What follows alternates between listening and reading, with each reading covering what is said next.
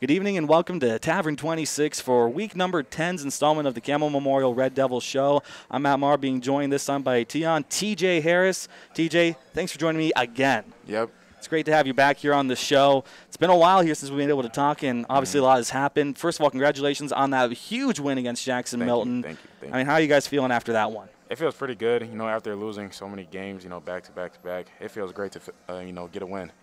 Absolutely here, and a win that is huge for you guys for so many reasons. Obviously, yeah, your first win in a while, like you just brought up here, your Mhm. first win in conference play, which is always a big one right there. It doesn't matter what time it comes that you get that there. But then you guys are also now still in the playoff hunt here as well. Yep. This upcoming week is going to be huge against Waterloo. I mean, what are you thinking right now here? What's going through your mind just thinking, wow, we might actually have a shot here at the dance? That I just want to win. That that's pretty much it. I just want to go out, win, make it to the playoffs. You know, show them that we're not like all the other old Campbell teams. That we're better than them.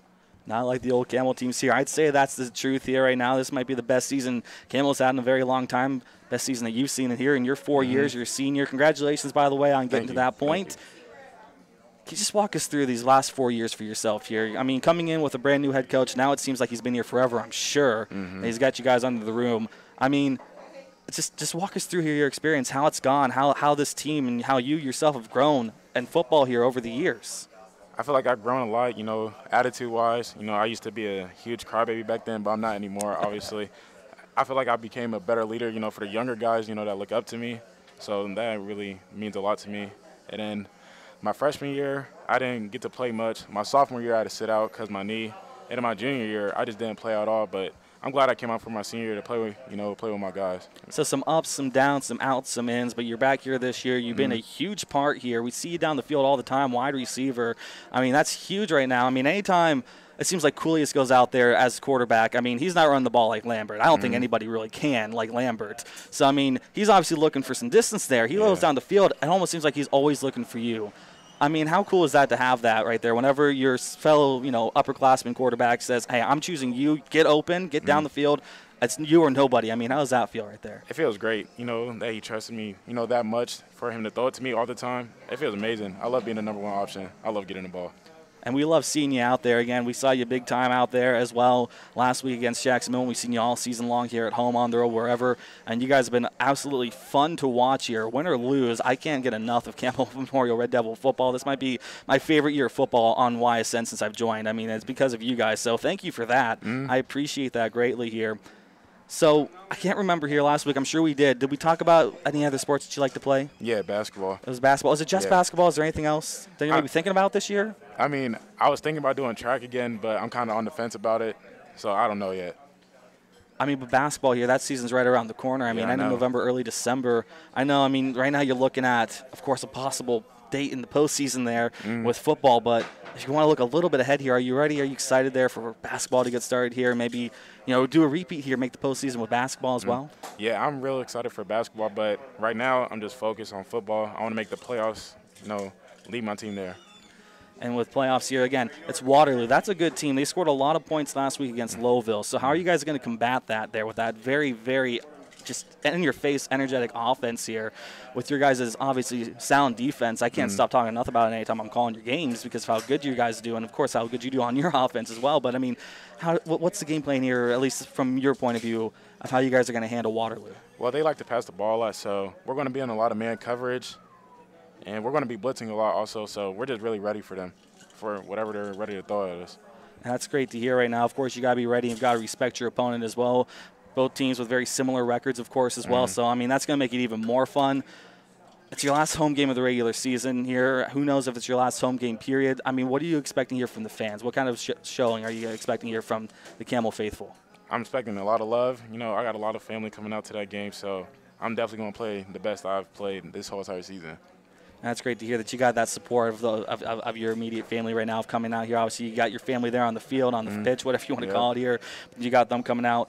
What's one thing that you'd want to say here to the Campbell fans to try and get even more people to come out here and show up and support you guys for your last game of the season? Senior night, you know, just come out, support, need all the love that we could get for the last home game.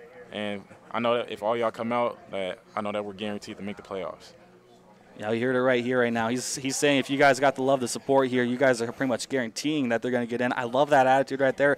You guys have to be confident here, of course. Mm-hmm. And of course, if you can't make it, we'll have you right there on ysnlive.com. It'll be there available for you to watch if you can't for one reason or another. But if you're able to, if you're in town, show up here. These guys are fun. I can tell you that watching you guys week after week, calling you guys, seeing this guy here pull off some incredible plays through the air, pulling him down, getting those touchdowns in.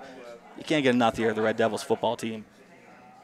All right, so we've talked about some stuff here. We talked about you know your senior year, you know how this means for you. Obviously, you mm-hmm. looked a little bit forward here towards the other sports season, but that's still so far away. I, again, you're ready here for postseason here. Possibility of coming out from that two spot here, out of it because you're 18, you're in the 18th spot here in your Yeah. section, right? And you got to get into that 16th. You have a chance mm-hmm. with a win here with a big upset over Waterloo. At least Yeah. that's how people are framing it as an upset. Again, same record here. I don't see that, but you got a mm-hmm. chance to maybe go to 13 in that spot here. Mm-hmm. What's the uh, I mean, what about that prospect of maybe being able to host a playoff game this year? I mean, how cool is that? That you guys still have that in your option? It feels amazing because you know this will be my first ever like football playoff game, so it means a lot to me, especially to do it you know with the guys I've known since I was little. So it really means a lot. I mean, absolutely. I'm sure it would here. And I mean, that's just so exciting here. But the job's not done. You got to get this win here against Waterloo. You got to show up here and show them some support here so that way they can get that here. It's everybody involved. Everybody has to show up here. TJ, I'm sure we asked you last week. What'd you say was uh, last week? Well, last time we had you here. What was your favorite item menu, menu on this item again? What'd you say it was?